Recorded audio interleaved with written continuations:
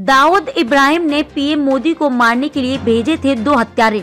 मानसिक रूप से परेशान शख्स के झांसे में आई मुंबई पुलिस शहर की ट्रैफ़िक पुलिस को उसके व्हाट्सएप हेल्पलाइन नंबर पर प्रधानमंत्री नरेंद्र मोदी की जान को खतरे के बारे में एक कॉल और संदेश मिलने के बाद सोमवार को मुंबई पुलिस हाई अलर्ट पर चली गई। संदेशों में कहा गया है कि कुख्यात गैंगस्टर दाऊद इब्राहिम ने पीएम को मारने के लिए दो गुर्गे भेजे थे। फ्री प्रेस जर्नल ने पुलिस सूत्रों के हवाले से बताया कि केरल पुलिस को भी अलर्ट पर रखा गया है।